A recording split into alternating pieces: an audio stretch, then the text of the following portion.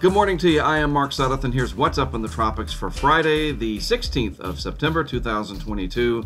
The Atlantic Basin fairly busy right now. We have Fiona, and then a couple of other areas out here that could develop over the coming days.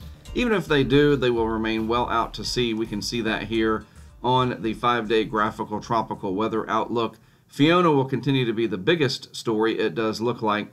But again, there's a couple of other areas that we will keep an eye on as the tropics continue to try to make up for lost time in the Atlantic basin. In the East Pacific, we do have Lester now that has developed here to the south of the Mexican coastline, and then another area off to its west that could develop as well in the coming days. The track map here, there is Lester expected to make landfall in southern Mexico over the next day or two. That could bring the threat of some very heavy rainfall. And then over here, of course, to the east, we have Fiona, and if we zoom in on that track map, Forecast to pass into the Northeast Caribbean, it has been tracking to the south and west of the official forecast track by just a little bit over the last day or so, and that has made the future forecast track become a little bit more to the south here. And uh, remember, though, it is not a little black dot with an S in it. The storm is much larger than that. That's just where the center of circulation is forecast to be.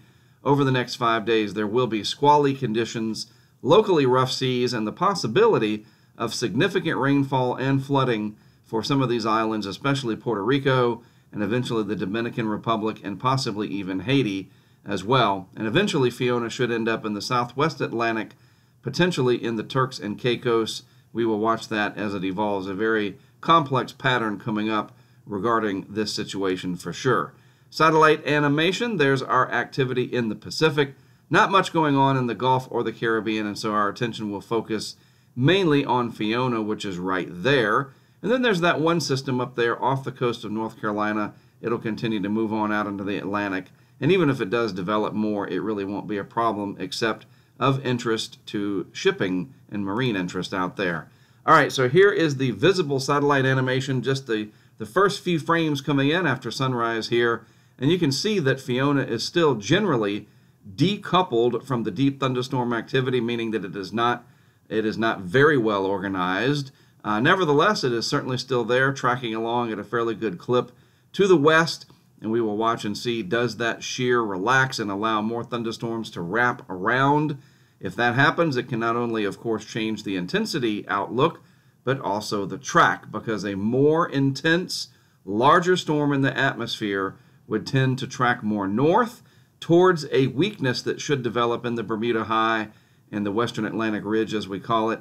A weaker storm would generally track more to the west, something we will definitely be watching in the coming days.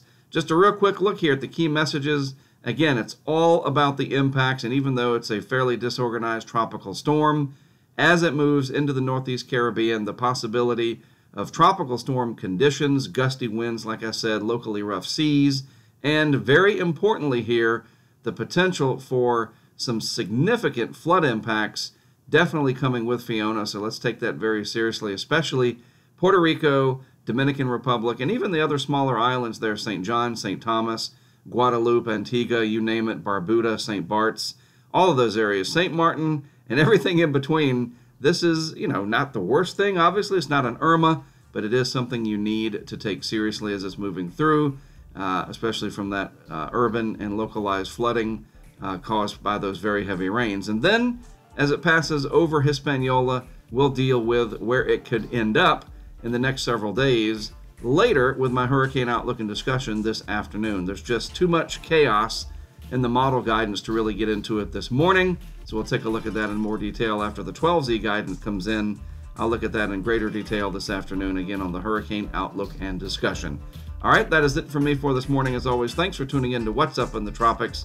I'll be back with you in a few hours.